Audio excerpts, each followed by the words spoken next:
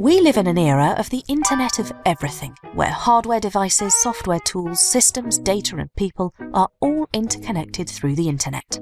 But did you know that crimes that happen on the street, such as theft, can also happen online, and anyone can unknowingly become a victim, even you?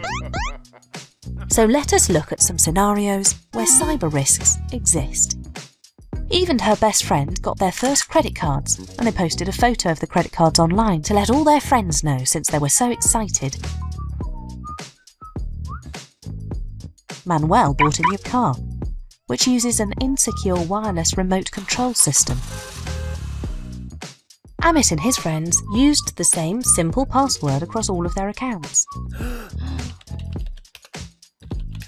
Megan and her friends were each given a new smart toy, which hackers may remotely take control of to spy on them.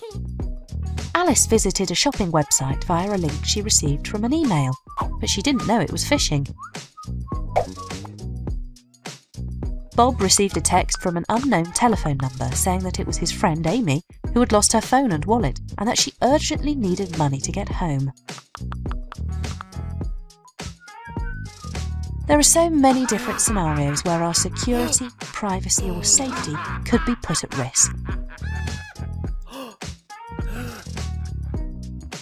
But we can help prevent ourselves and others around us from becoming victims. We can do this by learning and doing more about cybersecurity, online safety, and privacy.